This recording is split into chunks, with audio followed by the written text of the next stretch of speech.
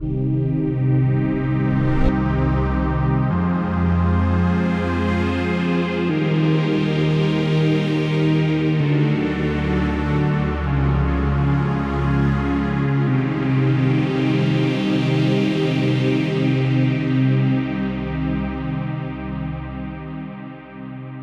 and welcome to a brand new series of tutorials for FXpansion's Strobe 2. Strobe 2 is our brand new amazing virtual analog modeled synthesizer. In this tutorial I'm going to take you through a general overview of Strobe 2 just to give you some idea of what it can do.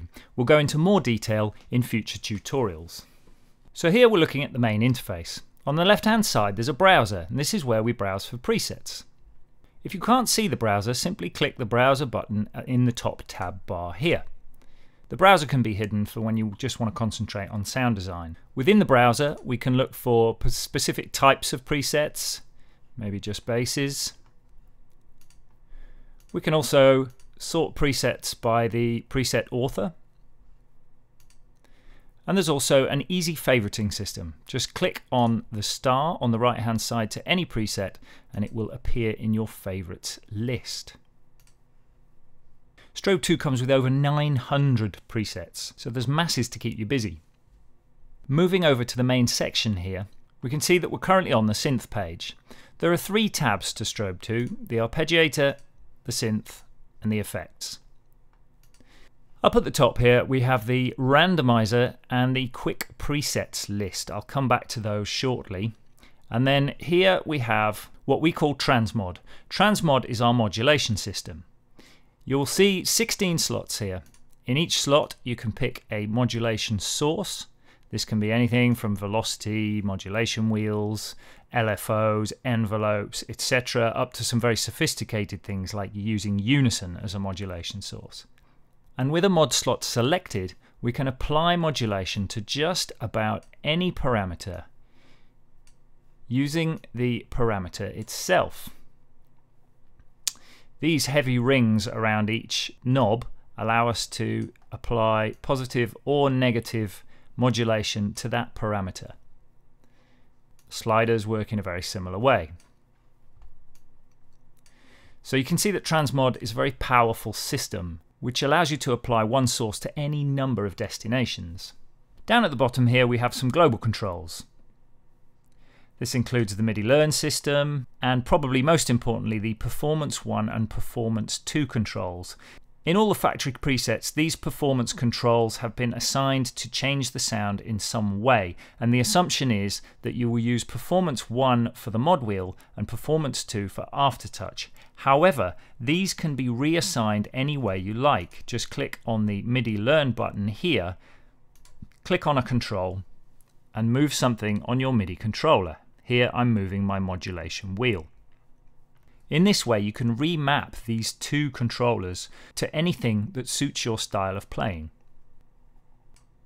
Let's look in a little more detail at the synth itself. Traditionally, Strobe had its roots in one oscillator classic synths like, say, the Roland SH101, and to some extent that's still true. Strobe 2 uses a single oscillator with a sub oscillator, noise source, voltage controlled filter, and amplifier. So the top row here is your audio signal path. Then the second row here represents your modulation sources.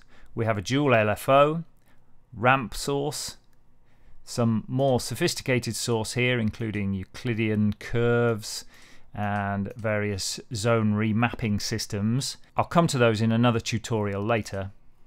And then a modulation envelope and the amplitude envelope. So the synthesizer page itself is very easy to understand. But although the synth is based on a one oscillator classic, it can actually do a whole lot more. For example, you can stack and detune the oscillator to make multiple copies of itself for a really rich sound.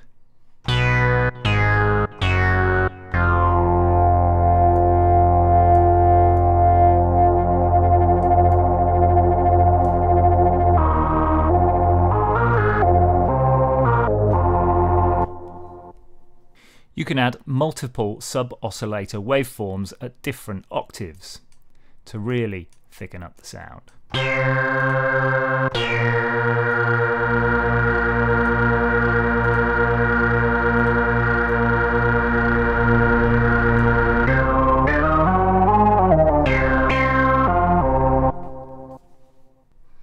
Add some noise.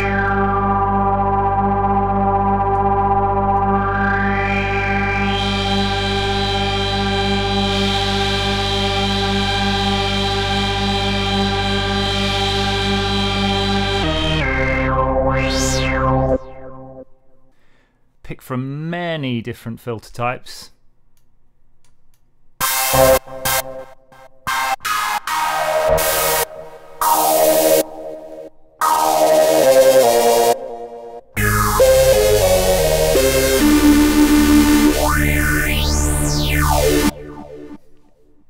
and add or remove overdrive to give a really crunchy overdriven sound.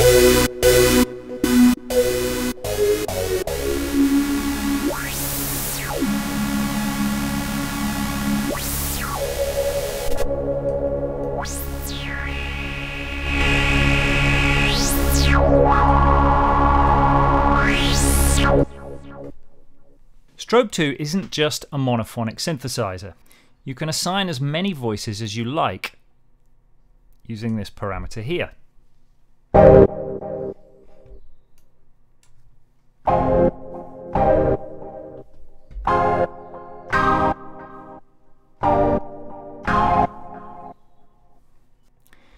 And you can also use the unison feature to create multiple stacks of the synth voices. Now this is accessed through the transmod system, so if I select the Unison transmod slot, we can see that it is affecting the fine pitch of each Unison voice and also the panning.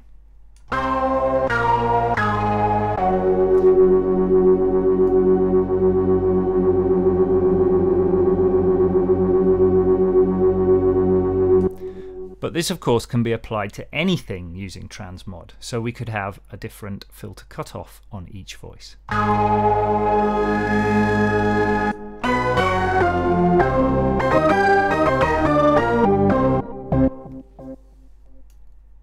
Let's take a quick look at the randomizer.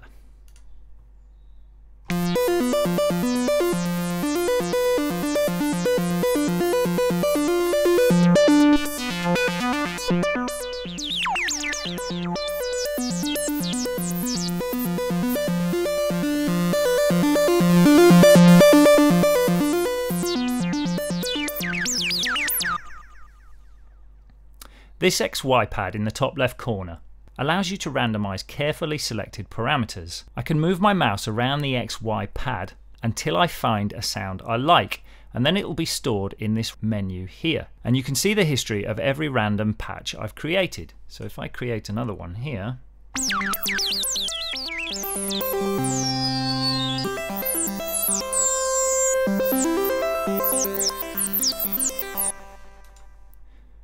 can see that it's created another patch for me and I can go back and audition each one.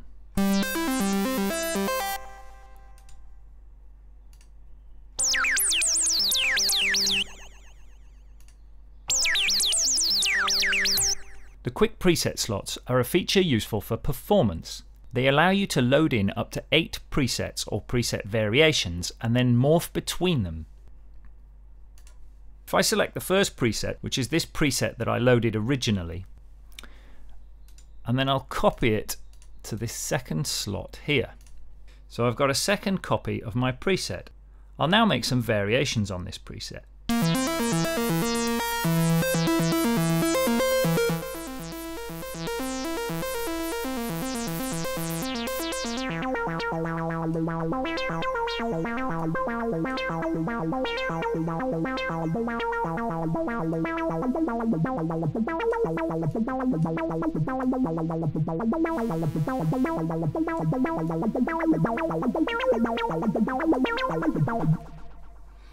Okay, that'll do. Now I can very quickly switch between the two presets.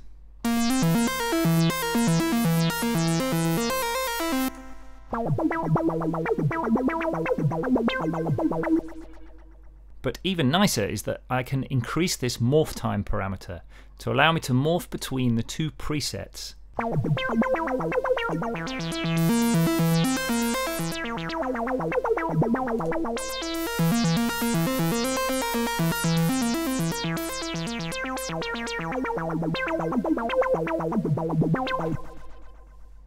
Let's take a quick look at the arpeggiator now. You can see here that this patch is using both the arpeggiator and the step sequencer. In the bottom half of the panel, I can change the arpeggiator settings.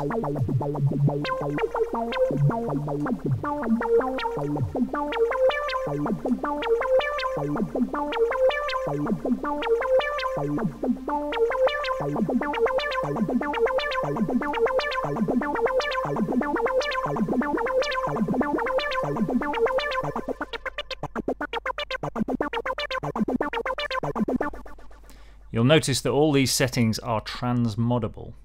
Then in the top half we've got the step sequencer. The step sequencer is a modulation source, so it appears as an option here under the mono menu.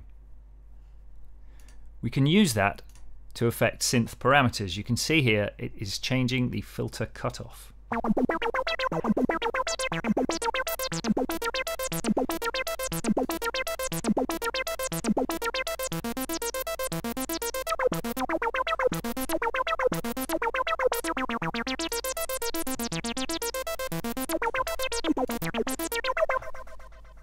Finally, for this quick overview, let's take a look at the effects page.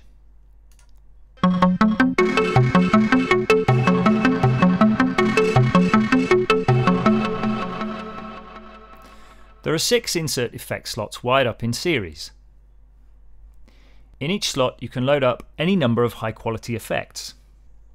The effects, like almost anything in Strobe 2, can be modulated using Transmod. Here I'll use my mod wheel to affect the size of the reverb in this first effect slot.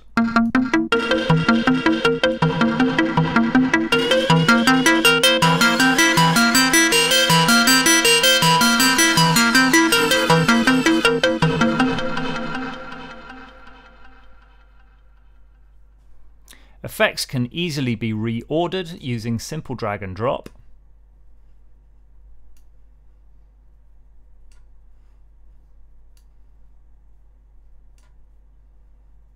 And they sound fantastic. So that's it for this brief overview of Strobe 2. Stay tuned and we'll be looking at a lot of these things in a lot more detail very soon.